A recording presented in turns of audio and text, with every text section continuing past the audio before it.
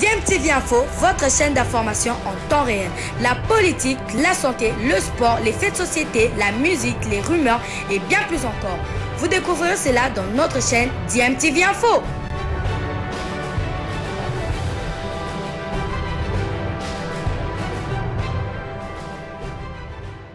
Vous êtes sur DMTV, bonjour euh, ou bonsoir, tout dépend de l'heure à laquelle euh, vous nous suivez.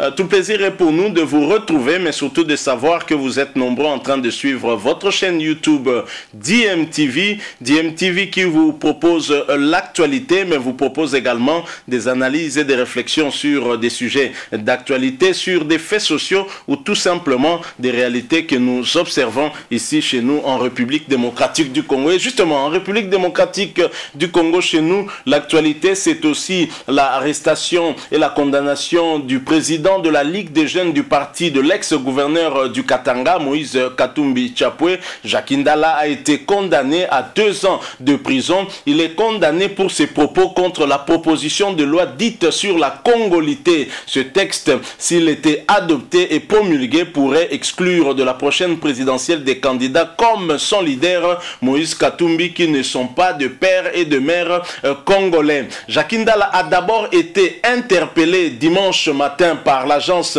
nationale de renseignement, euh, l'ANR, euh, et mis 24 heures après à la disposition du parquet général de Kinshasa, Matete. Déféré mardi devant les juges du tribunal de paix de Kinkole dans la banlieue de Kinshasa, il a finalement été jugé en procédure de flagrance par le tribunal de paix de Kinkole dans la banlieue de Kinshasa. Si Jacques Indala a été traduit en justice, c'est pour des propos tenus lors de son dernier meeting.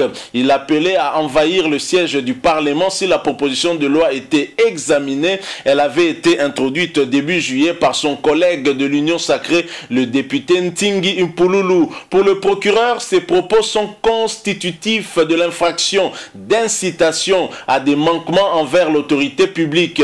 Il a recu deux ans et demi. L'avocat de Jacinda, la maître John Padou, met en cause ce raisonnement. Pour nous, la source du document est douteuse. La disposition parle de la désobéissance civile à la loi. Est-ce que le document de Pouloulou est une loi? Non, c'est une proposition. À quelle loi il a fait désobéir? La sentence qui a été euh, prononcée est un mal jugé manifeste. Est-ce qu'il est interdit d'aller au palais du peuple? Nous allons user des moyens légaux pour interjeter appel conformément à la loi Alors lorsque la parole a été accordée à Jacques Indala, ayant avant le délibéré du tribunal, il s'est dit victime d'une politique de répression visant à faire tous ceux qui sont contre la dite loi. Le président de la Ligue des jeunes d'ensemble pour la République a assuré avant, devant les juges, pardon, que même après ce procès, je serai contre cette loi. Mais les juges ont suivi le réquisitoire en réduisant tout de même de six mois la peine demandée. Ils ont donc condamné Jacinda là à deux ans de prison ferme. Donc voilà, Jacinda l'a condamné pour ses propos. Pour certains, en tout cas, il s'agit de deux poids, deux mesures. Parce qu'à suivre les réseaux sociaux tout le temps, on peut euh, constater que les parlementaires euh, debout usent euh, aussi, en tout cas, des propos qui frisent l'injure contre parfois certaines autorités. Et cela au vu et au su de tout le monde. On dira peut-être qu'il faudrait qu'il y ait des plaignants pour que l'action judiciaire soit déclenchée. Mais ça nous laisse quand même un peu perplexe, hein, tout ceci. Je propose tout de même de suivre quelques minutes de débat et d'analyse sur ce qui est arrivé à Jacques. Ensuite, nous allons nous retrouver pour la conclusion. Vous êtes toujours sur DMTV, bien entendu. Vous êtes nouveau ou ancien, mais que vous ne vous êtes pas encore abonné. Abonnez-vous s'il vous plaît. Et n'oubliez pas d'activer la petite cloche de notification en cliquant sur celle qui apparaîtra dès que vous serez abonné. Une fois de plus, euh, merci. Nous nous retrouvons tout de suite après. Le, le, le, le vous savez, nous avons du mal à comprendre ou à donner le véritable contenu de l'état du droit. C'est pourquoi aujourd'hui, c'est l'acharnement, on cherche à écarter les uns. Franchement, c'est les arguments des faibles. Parce que l'état des droits, Christian l'a dit tout à l'heure, c'est une société dans laquelle aucun citoyen n'est plus fort que la loi. La loi est la plus forte et chaque citoyen la respecte. Et dans un état des droits, Madame Gisèle, Vous avez vos devoirs en tant que citoyen, mais vous avez aussi vos obligations en tant que citoyen. Au fait, l'état des droits, c'est une société dans laquelle les citoyens ne, ne se croient pas tout permis. Mais j'ai l'impression qu'ici, l'état des droits, les gens euh, le comprennent comme étant euh, une récréation, comme étant une société très désorganisée dans laquelle vous pouvez raconter n'importe quoi, verser dans la vie privée des gens, insulter les gens à la télé, inciter à la haine tribale, inciter à la désobéissance, au nom de l'état des droits que vous comprenez selon vous. Qu'est-ce qui se passe? Dans les dossiers d'Allah, moi j'ai toujours euh, des problèmes ou des difficultés avec nos amis qui quittent un autre monde, qui quittent un monde vers un autre. Ndala vient de la chronique euh, musicale. Oui. Il n'a pas excellé dedans. Oh. Il n'a pas, ça? s'il vous plaît, s'il vous plaît. Je dis que- non, s'il vous plaît. Ndala vient de la chronique musicale. Un monde dans, la- dans lequel on n'a pas forcément besoin d'un grand diplôme pour exceller. Je ne dis pas que tous ceux qui font la chronique n'ont pas étudié, mais vous et moi savons que dans ce monde-là, nous n'avons Mais- mais- mais- mais on sait Ça, quand même qu'Endala faisait bien je- travail, Non, laissez-moi, je dis, musical, je ne dis pas que dans ce monde-là, les gens n'ont pas étudié. Il y a des chroniqueurs qui ont étudié, il y a des chroniqueurs qui n'ont pas étudié. Vous comprenez? Il y a des chroniqueurs qui, n'ont pas, qui ont étudié, comme les Doudou, comme Thierry, comme euh, euh, les autres chroniqueurs, bah, les les- qui ont étudié Oui. et qui font correctement leur boulot. Mais il y a des chroniqueurs qui n'ont pas aussi étudié, mais qui font correctement leur boulot, il faut, il faut les reconnaître. Ça signifie que c'est, mais ce que je voulais dire, c'est pas un monde pour lequel on a besoin d'un gros diplôme pour exceller. C'est pareil avec le monde musical. Il y a des musiciens qui ont étudié, qui sont des licenciés, qui font bien leur boulot. Il y a des musiciens qui n'ont pas, c'est dans bien tous sûr. les domaines. Il y a des musiciens qui n'ont pas étudié aussi, mais qui ont réussi à bien faire leur travail. Ndala, j'ai ouï dire qu'il est passé par l'UPEL, il faisait même le, le deuxième ou le troisième cycle, je crois. Mais déjà dans la chronique musicale, ce n'est pas quelqu'un qui m'a épaté. Ça, c'est le premier élément. Il quitte la chronique musicale avec les habitudes que nous connaissons. Là-bas, on s'attaque à tout moment, c'est des polémiques, c'est un peu comme le monde musical. Christian ne va pas me contredire. Il quitte ce monde-là, il veut amener les mêmes habitudes, le même comportement en politique. C'est comme ça qu'il va faire un passage raté à la tête de la CCI, de la jeunesse, de la CCI de Lambert. Mais c'est là qu'il a commencé. Et Mendel l'avait chassé à cause de l'incompétence. Parce que je rappelle ici que lui était président et que Thierry Mosenepo, les brillants Mosenepo, était son, était son adjoint. Mais qu'est-ce qu'il a fait? Le monsieur, on me dit qu'il venait dans des réunions, il n'avait même pas un ordre du jour. Et un jour, même de l'appel pour lui poser un peu des problèmes. Qu'est-ce qui se passe? Il dit, presse, Trobet Tangodada. Mendel dit, mais dans ce monde, on ne parle pas comme ça. Trobet Tangodada, ça veut dire quoi? Vous, vous, vous vous réaliserez que c'est quelqu'un qui a amené des méthodes du monde d'où il venait pour les amener en politique. Alors, Alors, un autre monde. passé avec. euh, Ce qui s'est passé, c'est la suite logique de ce que je suis en train de parler. Ça signifie que, parce que chassé de la tête de la CCU à cause de l'incompétence, à cause de la communication qui ne passait pas, qui ne cadrait pas avec le monde politique, il a amené le même comportement euh, chez, chez, euh, comment, chez notre. euh, comment il s'appelle? Chez Ensemble. Alors, qu'est-ce qu'il va Je ne sais pas si vous avez suivi les discours de Jacques Ndala. Il dit Togobomana. Cherchez la résidence de Tinkpulu. Cherchez la résidence de Noël Tiani. Et Bandara Rabisika Oza. D'abord, moi, je décrète l'état d'urgence. Est-ce que dans, un- dans une nation normale, un responsable à ce, niveau-là peut tenir ce genre de langage? Je pense que ce qui a été fait hier, c'est ça même l'état des droits. Un citoyen a énervé, il, a, il, a, il, a, il a énervé la loi et il devrait en répondre. Je voulais chuter par là. J'ai vu les gens nous mettre devant un théâtre bidon auquel on est habitué, où après l'arrestation d'Endala, on va un peu, on sort sa valise, on, on sort les chemises, et puis on va commencer à filmer pour nous dire que sa maison a été saccagée. Mais ils ont très mal fait le montage parce qu'Endala lui-même, avant d'être arrêté, il a fait, il a communiqué pour dire qu'au au coin de son avenir, il y avait un véhicule et qu'il avait vu les gens qui les cherchaient, il devrait sortir pour aller vers ces gens-là. Il a même promis que ceux qui a quelqu'un sorti à beaucoup, a.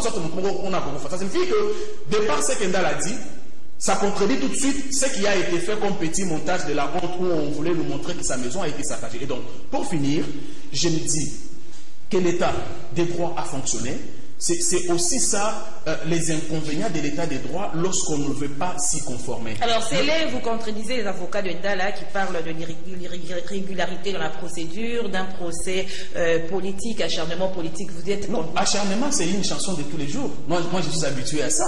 Aujourd'hui, lorsque vous commettez des bêtises et qu'on vous arrête, tout de suite, ça devient un acharnement politique. On va s'acharner sur la personne d'Endala dans ce pays. Non, soyons quand même sérieux. Merci, c'est les Et donc, questions. les messieurs, Ah, ouais. C'est les...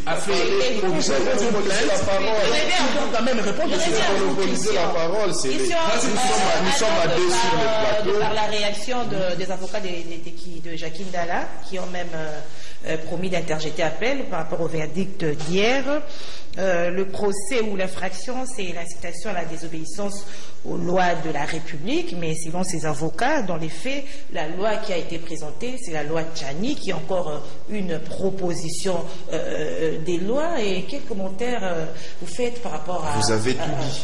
Vous avez tout dit, euh, Gisèle et Topo, parce que euh, incitation, désobéissance aux lois, euh, c'est notre constitution. Moi, je, je, je pense que les avocats le feraient aussi. Je crois qu'il y a une exception d'inconstitutionnalité à soulever aussi, parce que c'est la constitution qui nous donne, si je ne m'abuse, en vertu de l'article 28, à moins que je ne me trompe, qui nous donne aussi la possibilité de refuser d'exécuter un ordre manifestement illégal. J'aimerais qu'on puisse même, dans les recherches des constitutionnalistes, qu'on ajoute pas de refuser d'exécuter un ordre tout simplement manifestement illégal, mais il faut ajouter refuser d'exécuter un ordre manifestement illégal ou inconstitutionnel. Parce que euh, dans le procès tel qu'il s'est déroulé, vous l'avez signalé ici, que euh, a refusé d'exécuter l'ordre de la loi Chani, qui n'est même pas encore euh, inséré dans le calendrier. Une proposition. Qui n'est même pas encore dans les... Vous imaginez un peu, même pas dans le calendrier. Donc, c'est à ce moment-ci, c'est comme une simple lettre qu'on est allé déposer. Comme moi, je peux aller déposer une lettre euh, au- auprès du président Bosso et ça devient une loi. C'est grave. J'aurais compris si on m'avait dit que euh, était poursuivi pour les propos qu'il avait tenus juste avant euh, qu'il soit arrêté. Mais la procédure a été de flagrance, en flagrance. Mais finalement, la flagrance au Congo, c'est devenu quoi? Parce que euh, Jacques Ndala fait, tient des propos sur la loi Tchani. Mais c'est plusieurs jours après. Nous avons même oublié qu'il avait tenu ces propos-là. Nous sommes même entrés sur d'autres débats. C'est plusieurs jours après qu'on dit qu'on vient l'arrêter en flagrance. C'est une infraction qui vient de se commettre ou qui se commet. L'infraction s'était déjà commise et ne se commettait plus, mais on dit qu'il y avait flagrance. Je me suis posé, moi je croyais que c'était même sur les propos qu'il avait tenus juste avant. Encore que là, même si c'était sur ces propos-là, comment la police, parce que vous savez qu'en droit congolais, on ne sanctionne pas l'intention si vous n'avez pas encore posé l'acte matériel. Sauf pour quelques infractions où même l'intention peut être considérée déjà comme un acte matériel. Mais il fait un audio dans son téléphone. Nous autres ici, nous avons eu ça dans nos téléphones après qu'on l'ait arrêté. Quand est-ce que l'infraction s'était déjà commise pour qu'on vienne l'arrêter et qu'on puisse parler de la La flagrance procédure est biaisée. Donc, j'estime que la procédure de flagrance est biaisée quelque part, comme on l'avait toujours fait ici avec Mamba et les autres, on sait comment ça se passe maintenant. Je venais de suivre une vidéo où un monsieur s'est présenté devant un tribunal en culotte. Le juge a dit, je ne peux pas vous juger comme ça, vous avez manqué de respect au tribunal. C'est en France. Mais chez nous ici, la police vous amène devant les juges en culotte. Donc même la police manque de respect, comme le venait de faire d'ailleurs le général Kassongo, qui on lui a dit, vous avez enlevé les plaques d'immatriculation. Il dit, oui, je l'ai enlevé, il a reconnu une infraction en direct. En direct, il a reconnu qu'il a commis une infraction. Donc la police vous amène devant les juges pour que vous manquiez du respect au tribunal. Outrage au magistrat. C'est une infraction qu'on vous fait commettre de force. Alors, pour la procédure, moi je pense qu'il ne faut pas que nous amenions la population congolaise à des procès de distraction. Moi je vous donne un cas de figure. hein. Vous savez, il y a par exemple en ce moment ici, j'ai sur moi un document où les chauffeurs du ministère de l'ITP qu'on ne veut pas réintégrer pour qu'ils puissent conduire les nouveaux ministres, alors même qu'ils devaient le faire. Les nouveaux ministres leur disent, nous nous préférons mettre nos gens qui soient nos chauffeurs. Vous qui êtes de l'administration, soyez des côtés. Voilà le vrai problème qui Les concerne... chauffeurs des ITPR. Oui. Ils doivent être affectés. Parce que qu'est-ce qui s'est passé? mis de côté et que... Non, il y avait un charroi automobile qui était défaillant. Et en attendant qu'on puisse remettre ce charroi-là sur pied, on a demandé à ce que ces gens-là puissent attendre. Quand le nouveau charroi est arrivé, il fallait les réintégrer, qu'ils conduisent. Ils ont reçu des formations. Ils connaissent, ils ont un encadrement.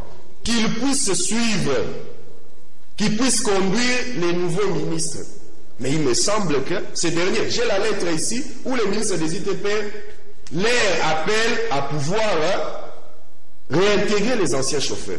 Vous voyez ce qui concerne la population. Pas qui sont les ministres. Les débats, les débats, non, Gisèle, voyez les débats, voyez les débats qui concernent la population. Voyez les débats qui concernent la population.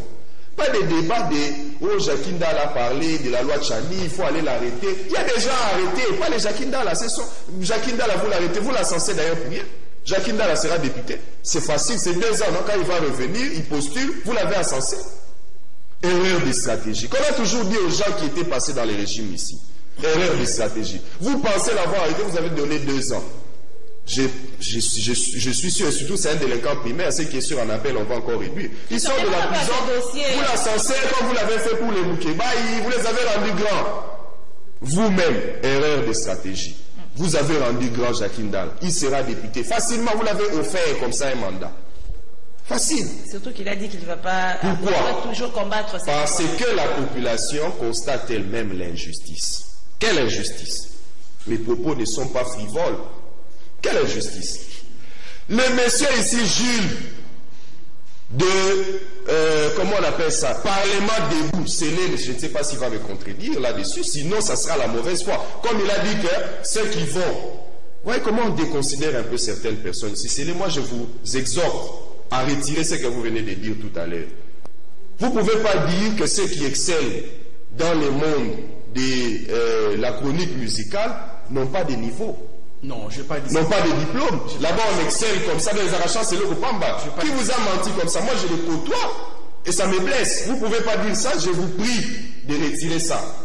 Sinon, vous direz que même Zachary ici, qui a excellé, qui est venu en politique, vous le mettez dans le même paquet. Mais il soutient tout ce que vous faites là, tout ce que vous dites. Zachary le soutient. Pointez aussi du doigt Zachary Bababassou. Je pense que vous n'allez pas le faire parce que vous savez que c'est du camp que vous défendez. Je ne défends aucun camp. Je sais les gens que vous défendez. Donc vous voyez un peu, il ne faut pas traiter les gens comme ça. Il y a un sérieux problème. Je vous exhorterai à retirer ça parce qu'il y a des grands diplômés là-bas. Ils, ils, ils excellent dans leur monde. C'est leur monde. Et puis il y a certains mondes aussi. C'est chez nous ici qu'on pense qu'il faut seulement avoir des gros diplômes pour exceller. Ceux qui ont eu de gros diplômes ont vendu les pays. Ailleurs au monde, vous terminez votre, vos études humanitaires, vous allez exceller quelque part. Vous vous orientez, il ne faut pas seulement des diplômes. Non, pas seulement. Donc, je voudrais ne pas faire comme lui, effectivement, conclure en disant que quand vous regardez les messieurs ici, Jules, Parlement debout, grand marché, qu'est-ce qui ne débite pas tous les jours? Un jour, je me suis mis à la place de Madame Amida ici. Vous savez les propos qui sont sortis de la bouche de ces messieurs-là. Je me suis mis à la place de tout ce monde ici, les ministres, de Janine Mabunda. Si Janine Mabunda était ma mère, ces messieurs-là, je, les traîner coûte que coûte devant les cours et tribunaux. Il n'est jamais inquiété, hein. Ces messieurs-là n'est jamais inquiété. Jacqueline Dalla qui parle seulement, on va vite arrêter. Mais ces messieurs-là débitent des choses incroyables tous les jours. Et il n'est pas le seul. Tous les parlements debout ici presque le font. On va passer à un autre sujet. Mais Pourquoi on ne poursuit pas Pourquoi on ne poursuit pas? On a décrié euh, lors euh, de la Kabylie. Vous ne trouvez pas que ces pratiques Alors, reviennent euh, encore? euh, je comprends, je comprends que Christian est en difficulté ce matin parce qu'il me met dans un camp. Les téléspectateurs apprécient. Je ne sais pas, je ne sais pas lequel. Euh, moi, je lui dis que je n'appartiens à aucun camp. Moi, j'ai dit la vérité. Malheureusement, au Congo, vous ne voulez pas des gens qui vous disent la vérité. Vous voulez des gens, des hypocrites qui commettent des infractions, qui énervent les lois de la République et qui crient à la victimisation. Mais Parce qu'au hein. Congo, les aujourd'hui, tout le monde est victime de l'acharnement parce que c'est qu'il veut l'écarter. Même Jackie, là, demain, on dira qu'il sera candidat présent. C'est pour ça qu'on l'a arrêté parce qu'on veut l'écarter. Et aujourd'hui. Non, il ça c'est facile. S'il vous plaît, Vous vous avez donné les mandats. Je voulais faire une- ouvrir une parenthèse. Gisèle, je crois que vous avez suivi euh, ou vous avez lu la deuxième lettre ouverte de Jean-Claude Mouyambo. la lettre intitulée Ma part de vérité, quand il parle de Moïse Katumbi. Lorsque j'ai lu cette lettre la nuit, parce que tous sur ce plateau savons que Katumbi est juif de par son père, et que le doute, c'était est-ce que sa maman est congolaise ou pas? Est-ce qu'il est, est, est, congolais plutôt de par sa mère? Mais je vous cite Mouyambou. Mouyambou est avec Katumbi. Lisez la deuxième lettre de Mouyambou. Vous comprendrez que Katumbi n'est ni congolais, ni des pères, ni des mères. En principe, cette loi, il n'est même pas concerné. En principe, non, mais, je vous. Lisez, lisez la deuxième lettre de la deuxième lettre ouverte de Jean-Claude Bouillard. Quand il parle des tonnes de minéraux de la, gécamine qui ont été saisis en Zambie, parce que la gécamine devait à un sujet, euh, devait à un sujet zambien l'argent, et ces sujets euh, zambiens, d'après Jean-Claude Bouillard, c'était Moïse Katumbi. C'est quand Moïse Katumbi. Alors, c'est là, là, vous donnez raison aux gens d'ensemble qui disent que c'est une loi vise Non, le parent ne le vise même pas, parce que lui, lui n'a pas un parent congolais. Le parent ne le vise même pas. En principe, c'était un débat qui doit être fait par les Congolais des pères et des mères et les Congolais qui sont soit des pères ou des mères. Parce que lui n'est concerné ni par un cas ni par un autre. En principe, lui n'est pas concerné par la loi au regard de ce que Mouyamba a raconté dans sa lettre. J'entends aussi euh, mon frère Christian parler de la théorie. Non, lui, il est euh, juriste. Moi, j'ai un grand respect pour lui. Mais je crois que quand il parlait de, de, de, de la flagrance, il a certainement oublié la théorie du temps voisin de l'infraction. C'est une théorie qu'il doit avoir apprise la théorie du temps, du temps voisin de l'infraction. Et il dit aussi que euh, Jackie a été arrêté parce qu'il a fait l'audio. Non, Jackie a été arrêté pour les propos tenus devant les militants ou le jeune de, de la ville. circulé sur les réseaux Bien sûr, c'était pas par l'audio. Il l'a fait quand il a vu un véhicule des, militaires ou des policiers au coin de chez lui. Il a fait l'audio comme pour dire je vais les affronter, je sors le voir. S'il m'arrête, quelqu'un va mourir et tout ça. Il n'a pas été arrêté par l'audio pour l'audio plutôt. Il a été arrêté pour les propos tenus par rapport à ça. Et donc, euh, c'est ça. Donc, euh, il a parlé ici des, chauffeurs euh, qui sont en problème. Moi, c'est des pratiques que je condamne, si c'est le cas. Mais j'aurais voulu que ces chauffeurs nous disent qu'ils viennent de tel ou de tel autre cabinet politique. Parce que moi, je connais des. Non, ils sont nombreux. Hein, moi, je, connais, je connais les chauffeurs, des ITPR qui ont été affectés dans des cabinets politiques et qui conduisent les ministres. Moi, personnellement, je connais. Je connais les chauffeurs. Alors, oui, oui. Il fallait qu'ils soient précis pour nous dire moi, j'étais affecté dans tel ministère, on ne m'a pas repris. En ce moment-là, on a discuté. Mais quand on vient comme ça, on dit on est chauffeur des ITPR et puis on n'a pas, pas été euh, euh, reconduit à n'importe ça, ça, ça, fait, ça fait vague. Ça fait des autres. Je ne sais pas si on peut. Euh, Merci Célé. On peut le dernier sujet. Il a dit un truc important sur un certain Jules qui aurait, euh, qui verserait dans des, euh, euh, dans la médiocrité, qui s'attaquerait aux gens. Non, mais moi, j'ai, moi, je suis contre les antivaleurs. Moi, c'est ça qui me différencie des gens. Si c'est monsieur, vous avez de pour Ndala, il y, a, il, y a, y, a, une structure de la société civile qui s'est sensibilisée, qui est allée saisir la justice. Si vous avez des preuves que ce monsieur a insulté les gens, il a manqué du respect aux gens, prends la vidéo, va à la justice, viens de me dire, je suis allé à la justice contre tel monsieur, il n'a pas été inquiété, en ce moment-là, on peut débattre. Parce que je rappelle ici qu'il y a un certain Kalolo qui est à la tête du soutien de la société civile qui a porté plainte contre Jacques Ndala pour ces propos-là. Mais est-ce que vous avez porté plainte? Non. Vous vous contentez de dire acharnement, machin, machin, machin, machin.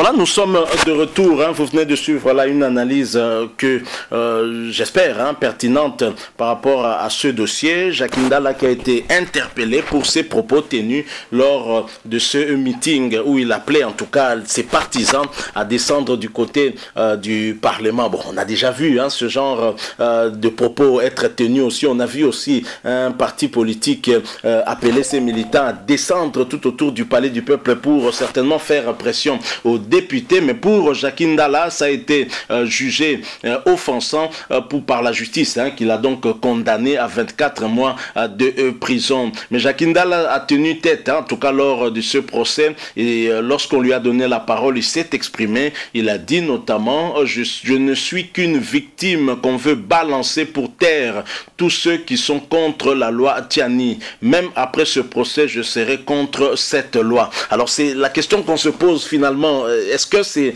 euh, cette proposition de loi de Noël Chani qui a eu raison justement de la liberté de Jackie Ndala? Si, tel est le cas, on se poserait bien la question de savoir finalement qui est derrière cette loi. Donc euh, visiblement, il y a un jeu de cache-cache qui ne dit pas euh, son nom et c'est quand même un peu triste. Alors certains observateurs voient dans la condamnation de Jackie Ndala une politique de deux poids, deux mesures. On a comme l'impression d'autres peuvent avoir ce libertinage de s'exprimer, de menacer même certaines autorités sans pour autant être inquiétés. Je parle bien des parlementaires de l'UDPS qui s'expriment tous les jours dans les réseaux sociaux, parfois tenant des propos offensants, menaçants, mais qui n'ont jamais été face à la loi. Et devant tout cela, on a comme l'impression qu'il y a vraiment une politique de deux poids, deux mesures. L'état de droit que nous voulons tous, que nous avons tous appelé de, nous, de tous nos voeux, voudrait que tous soyons égaux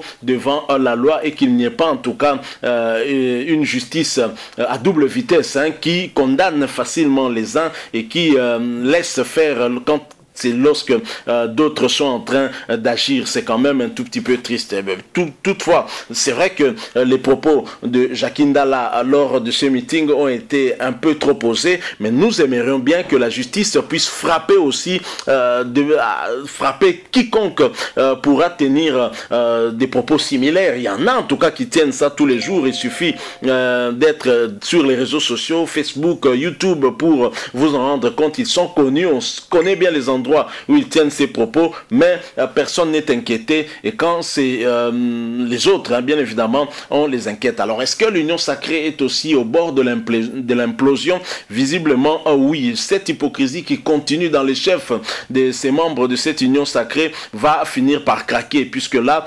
euh, ce sont les membres de l'union sacrée qui sont en train de se battre, même si les leaders ne disent encore rien. Mais je pense que finalement, ce combat concerne directement ces leaders-là qui euh, ne disent rien. Voilà, nous sommes arrivés, euh, arrivés pardon, à la fin de cette petite analyse hein, sur euh, l'arrestation puis la condamnation de Jackie Ndala. chacun son opinion, bien évidemment. si vous avez aimé, laissez-nous un maximum de j'aime. Et si vous avez une opinion à partager avec nous, n'hésitez pas de nous la laisser à travers un commentaire. Vous êtes nouveau sur cette chaîne ou ancien, mais que vous n'êtes pas abonné, abonnez-vous et n'oubliez pas d'activer la notification juste en cliquant sur cette petite cloche que vous verrez apparaître dès que vous serez abonné parce qu'elle vous permettra de ne plus rien manquer des prochaines vidéos que nous allons vous proposer. Merci encore une fois à vous. Nous espérons vous retrouver bientôt avec un autre sujet d'actualité. En attendant, portez-vous bien et DMTV vous dit au revoir.